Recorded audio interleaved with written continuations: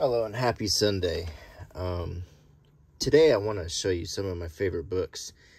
And um, these are just books I like to pick up and flip through sometimes or just give me pleasure for different reasons. And I hope you enjoy this video.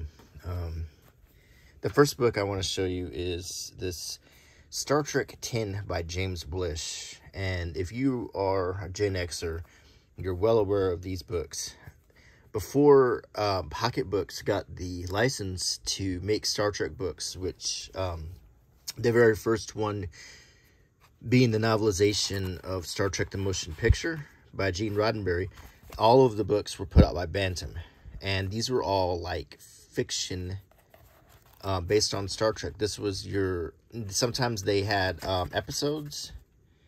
Um, and I believe all of these are um, episodes, but sometimes they were uh, different stories, but these are novels of the episodes, and James Blish added a lot of detail uh, that came up like later on, or sometimes it was discarded. I'm not sure where these fall in the whole canonical thing, but say you another thing about this is back in the um, late 70s or mid to late 70s when these came out like this was published in um, late 60s, early 70s, I'm guessing. Um, 1974. There wasn't really, if you didn't have Star Trek, I mean, you really rarely had a VCR. So your only way to re relive some of these episodes was to read these books. So here's, you know, six episodes in this book. And I always loved the artwork on the cover because you know you see the Enterprise and you it was doing things you never got to see on the show, like literally a phaser blast destroying the nacelle of this Klingon ship.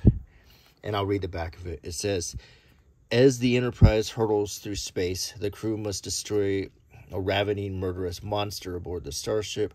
Kirk discovers an incredibly beautiful creature with strange powers of healing. Spock views the forbidden um, Kollos and grows insane and more. Um, and be sure to look for Star Trek 1 through 9. And then the other books. And about the author, James Blish.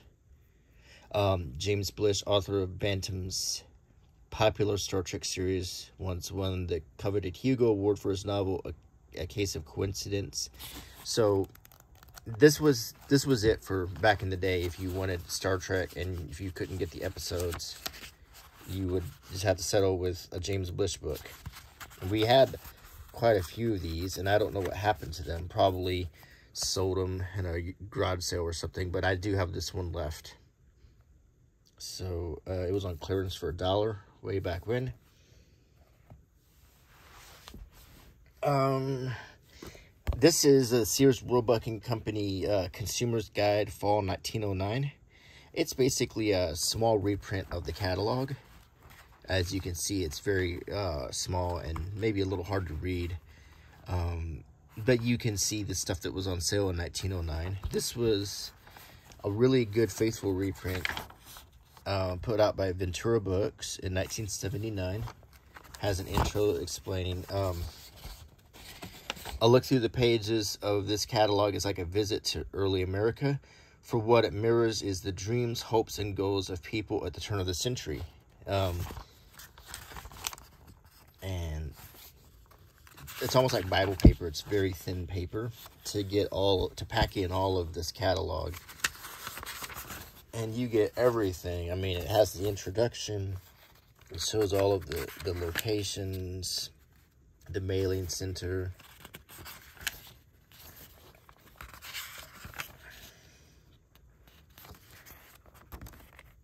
mean, this is a total faithful reprint.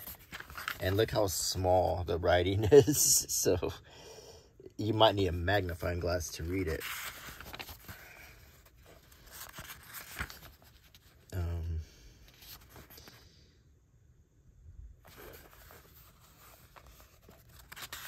and then we get into the catalog and we start with jewelry. Pins like this, uh, a lot of men would wear these badges, especially like if they were in the uh, the Grand Army of the Republic or whatever, or if they were a certain profession, they would put this on with their dinnerware if they were going to some kind of party.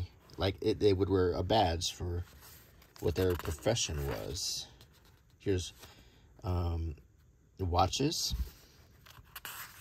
pocket watches. Uh, don't believe wristwatches were much of a thing at this point, if they even existed really. And these are watch fobs for your pocket watch. Um, and here we get to some jewelry.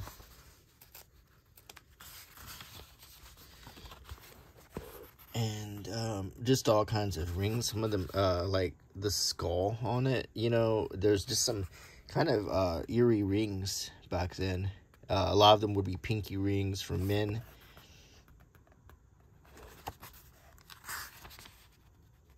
Big old chunky rings. Here's a little trivia. Back at this time, when people got married, the only person who wore the wedding band was the wife. The husband didn't start wearing those until World War II. So if you see any movie where it shows a husband wearing a wedding ring prior to World War II, like a movie like The Untouchables with with Kevin Costner, that's inaccurate. Um, men didn't wear wedding rings at all. It was unheard of. The only reason they started wearing them was the wives wanted them. They had learned their lesson from World War One, so the wives wanted them to wear those rings when they were in France to signify that they were married. So when all of the pretty French and Dutch ladies were there, the husbands would be faithful. Clocks.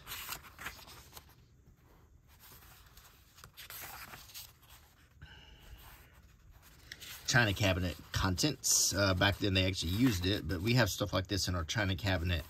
We, my Mary has a whole bunch of the whole set of plates and bowls and serving things and stuff, but they're nice and she doesn't, we never use them. So we just keep them in the china cabinet and they're uh, belong to her grandmother, so it's an heirloom. And um,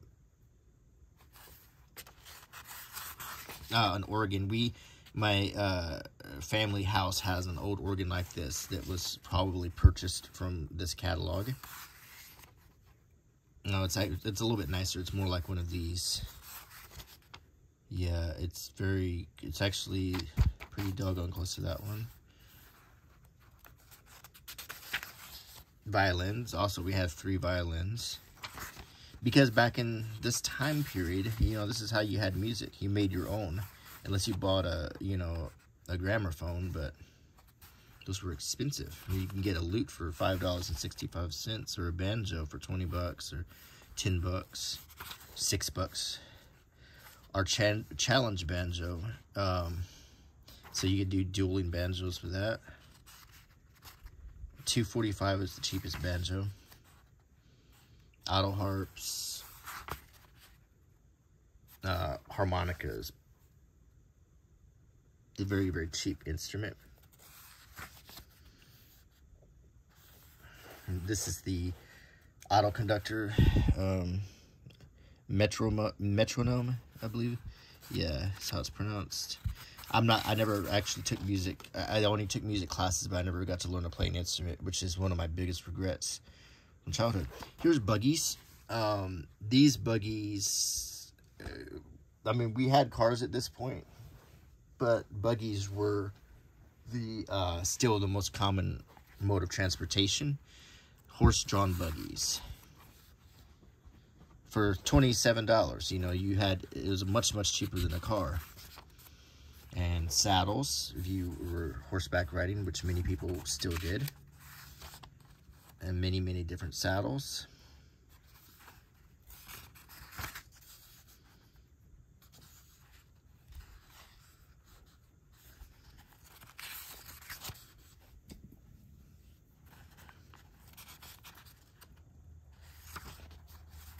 Nope. We're for a cat cameo she's in here and she's messing with stuff. Okay. Um, then we got paint cans. Uh, look at that old barrel. I mean, look, you would purchase something that would come in a barrel like that. Can you imagine? Uh, shotguns.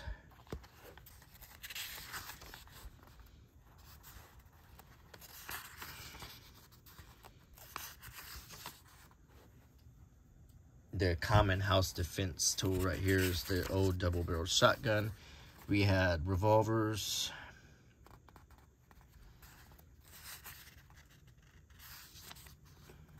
Many of them looking like the traditional cowboy pistol, the the uh, single action pistols.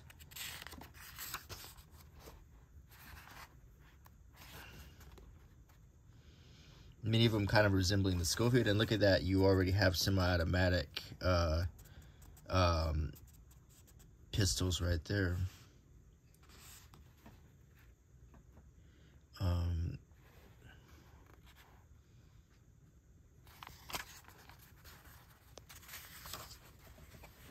if you need a pirate gun, you can still buy them back then.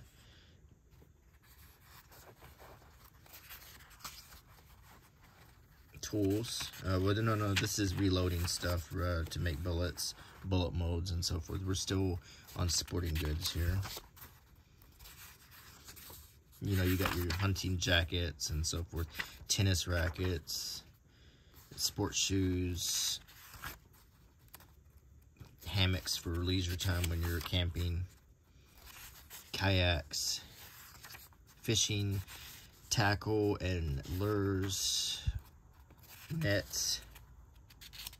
I'm, yeah, uh, we get to camera equipment here, which is uh, state-of-the-art stuff.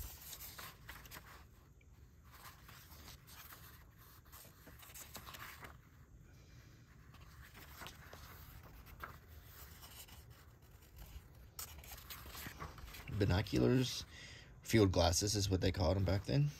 Telescopes, and we get to our music making machines right here. Um, the graphophone.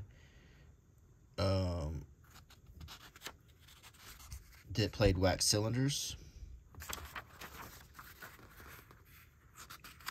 Talking machine for public ex exhibition.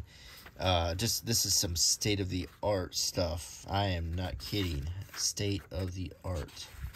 Some medicines, stomach remedies, uh, heart cure, uh, Brown's vegetable cure for female weakness, um, Dr. Rose's uh, arsenis complexion tablets. So I guess they have arsenic in them.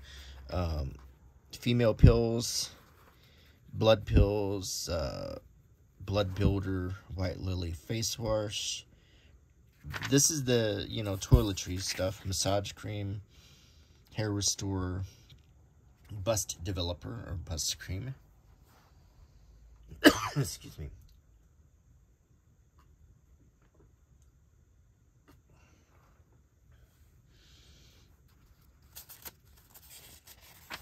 Um, this complexion powder, cold cream, rouge, makeup, basically. This is makeup. Rocking chairs. Buffets.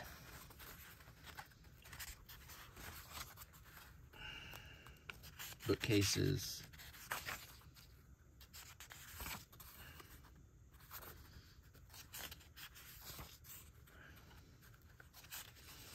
Old iron beds. Uh, I had one when I first moved out on my own that was given to me by my grandparents. And I wonder if the model that I slept on can be found in here. Um, it was uh, that one. Also had their mold metal box springs included with it.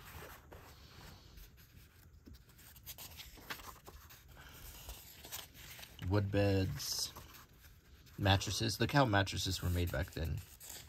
Elastic felt mattress.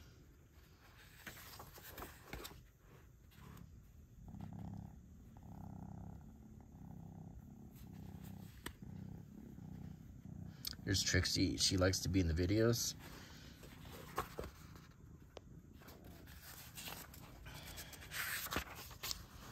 Um, washing machines. They had them back then. This is a wringer. After you got done washing, you'd wring your clothes through, and then you put it, you hang them out on a line to dry. Typewriters. Now we get to hardware. Uh, blacksmith tools. These are specific tools for blacksmith work, like tongs and hammers and so forth. Um, and blacksmithing was a big part of life back then because metal fabrication was something you needed to do.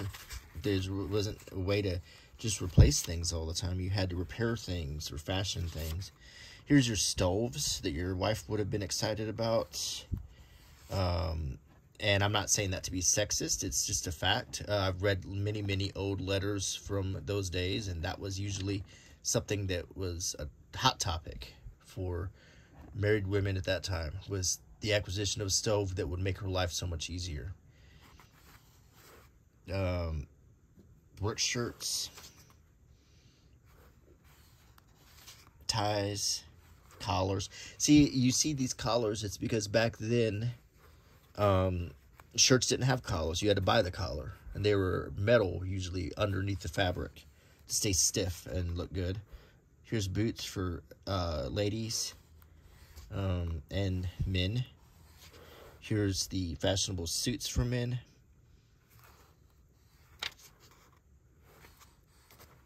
Pipes, because uh, you didn't go out without your tobacco.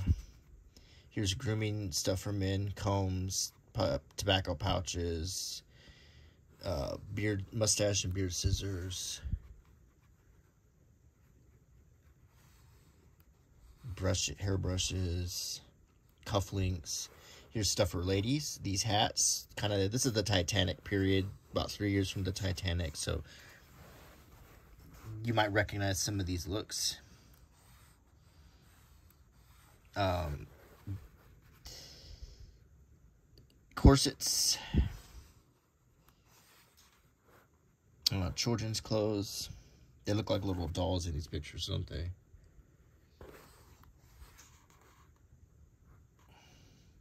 jackets, um,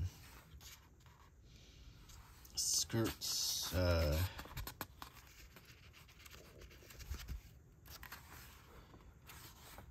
uh, th these are called waist, uh, shirt waists were basic, basically blouses.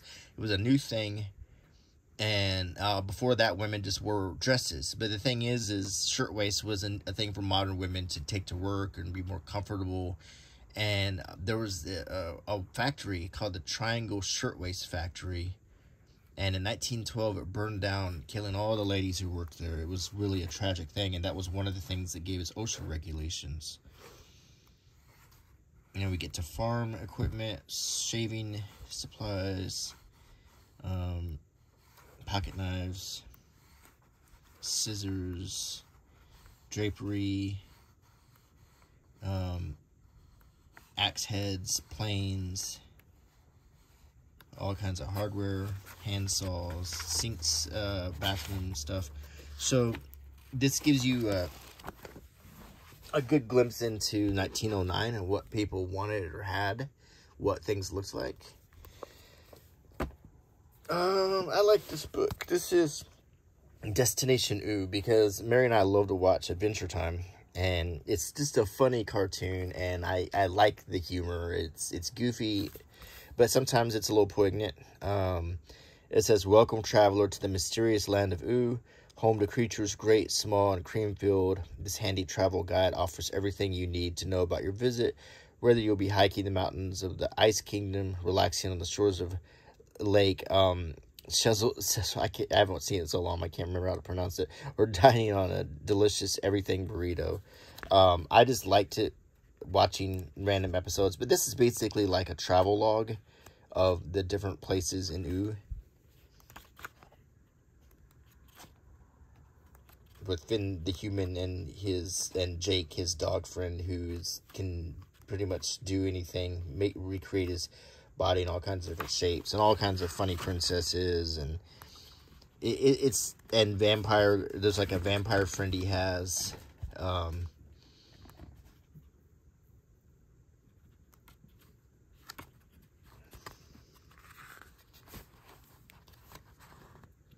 it's just uh, yeah basically like a travel book if you were to actually travel to the land of Ooo and it's just kind of fun to flip through if you're bored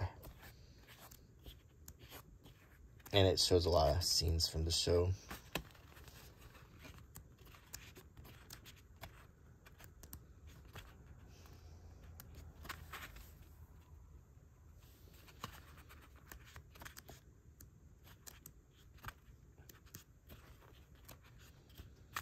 Um, the next one I'll show you is, is, a book called My Year Flops. And uh, if you ever heard the term Manic Pixie Dream Girl, that's uh, it was coined in this book by Nathan Rabin, and it's about uh, the character in Elizabethtown and also the character in Garden State, played by um, Natalie Portman and um, the uh, oh gosh, what's her name in in Elizabethtown? Um, Kirsten Dunst.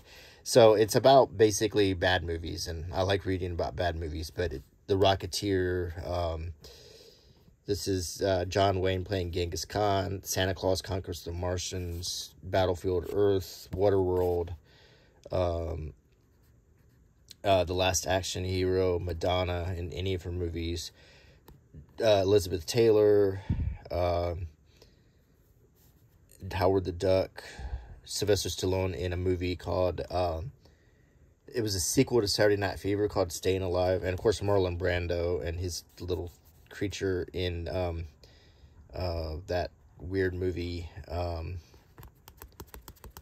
where he had the island. I can't remember what it was called. It was really, really, really weird. Um,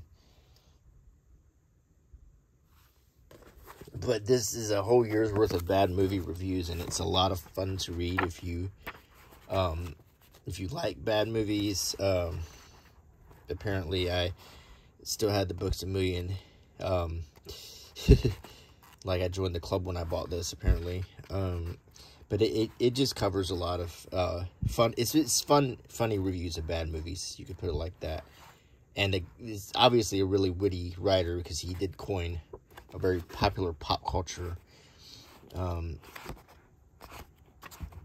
name in this. So he, Elizabethtown is the one movie that he really just it drives him crazy. Uh, this is um, the Pinocchio version with Rob, Roberto Benigni that was a flop. Um,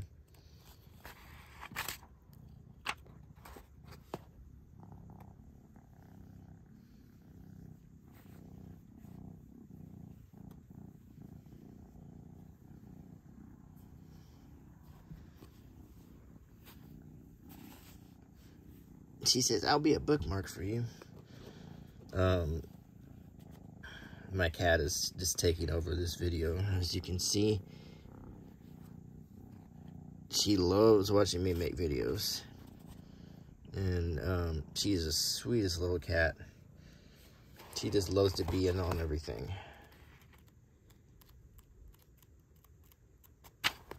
Marlon Brando um, in um, what was that movie? The Island of Doctor the Island of Dr. Moreau. Yeah, this is such a bad movie.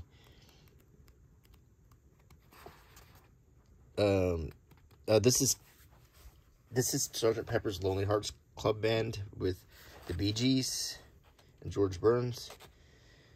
The Love Guru with Mike Myers.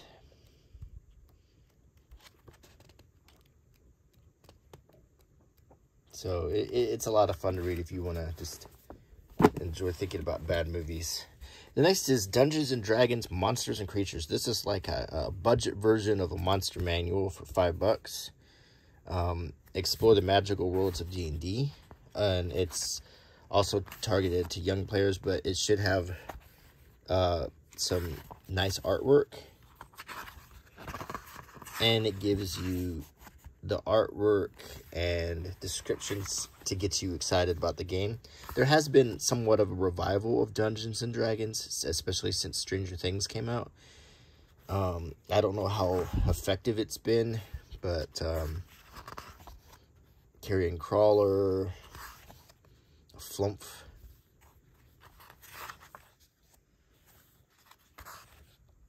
Mind Flayer, you might uh, recognize that character from Stranger Things. And something tells me they're going to have the Demogorgon in here because they know that Stranger Things got people excited. So they, the Mind Flayer and the Demogorgon are put in a much more prominent place than they used to be in the Monster Manual.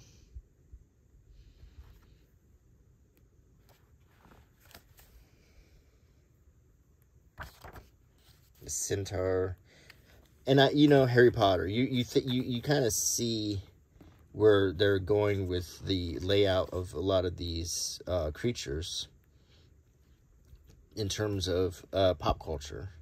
And they're trying to show people, Unicorn, that um, that D&D is, is something they might be interested in if they're interested in these things. So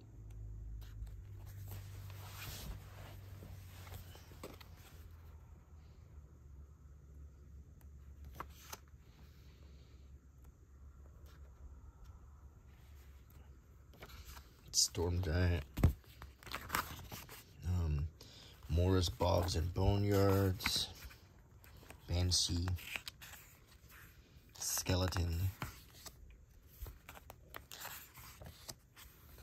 Vampires. Surprised they weren't closer to the front. Vampire Spawn.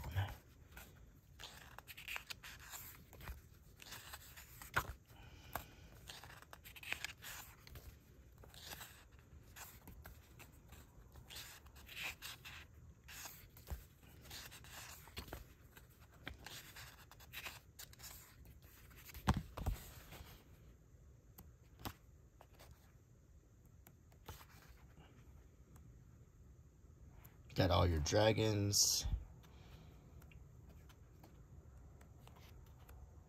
Tiamat. The chromatic. Chromium or chromatic, I think. And then I don't have Bahamut in here, the platinum dragon, but that's okay. But anyway, that's um, Monsters and Creatures, a pretty book full of great artwork. And finally, uh, I want to show you with Custer on the Little Bighorn, a first and only eyewitness account ever written. Oh, that was Fiona. She knocked over some things, of course. Um, this is uh, an eyewitness account of the Battle of the Little Bighorn by William O. Taylor. Uh, as you can see, it's the old style. And, um, and just for some back, there's uh, William O. Taylor. Just for some background, um, the Battle of the Little Bighorn was a was a conflict between the 7th U.S. Cavalry under um, overall under uh, General Terry with columns commanded by Custer. And he split his columns well there was another there's uh, some other columns but um, Custer then had okay let me see he had I was in the Air Force so I don't exactly know how the Army lays it out but he had it was a whole regiment I think or, or maybe and then the Custer was commanding the regiment. He had under him captains, and it was Benteen and Reno. He split them on June 23rd, uh, which made them much smaller forces, but he thought they'd move quicker. He turned down uh, Gatling guns and other things that might have helped them, and then he tried to take on the bulk of the Sioux and Cheyenne that had assembled in that area of the Little Bighorn, and his his column was wiped out. Benteen's and Reno's were uh, well Reno's was was decimated and Benteen's was pretty much untouched. Here's the original book. Custer was killed there. Um, there is some gruesome pictures in here that I'll try to avoid. Um, the Indians at the Battle of the Little Bighorn were ferocious fighters, and the um, they managed to mutilate all of the uh, the dead of the Seventh Cavalry. Um, it's an interesting book about um, Custer was a, a, a, youngest Civil War general in the Union Army. Um, he was uh, criticized for being flamboyant and full of hubris. He also uh, wrote, many of his writings suggested a lot of sympathy and admiration for the Native Americans. Um, he uh, was a very complicated man of a, a, lot of different angles. You cannot just judge him as evil or as good. Um, he definitely was both. He had tendencies towards both. So, um, but the mistakes he made at that battle, uh, the calls he made were very disastrous, especially splitting his uh, his unit of cavalry. So um, that definitely played right into Um, the Native Americans were led by a crazy horse and sitting bull and played right into them. Um, there is Custer. Um, with I think that's his brother Tom, who won two Medal of Honors during the Civil War. Um, he he had another brother named Boston who was attached. He wasn't in the military, but he was serving. These are some of the Native Americans he was fighting, like Gall and Rain in the Face. Um, a lot of a this is kind of a, considered a primary source of uh, his, history. So you could use this if you wanted to write about the Little Bighorn, because this is a, a, a person at the time who witnessed it. Sitting Bull, the overall leader. Another picture of Custer. Um, some bodies, unknown remains on the battlefield, uh, photo taken in 1876. old gun that was found on the battlefield. Just a really interesting uh, history book about the battle. An interesting topic, an interesting battle. Anyway, I hope you enjoyed this video. And until next time, I hope you like my channel. Please give me a thumbs up and leave a comment. And subscribe and click the bell icon. All of that helps the channel. And uh, until next time, bye.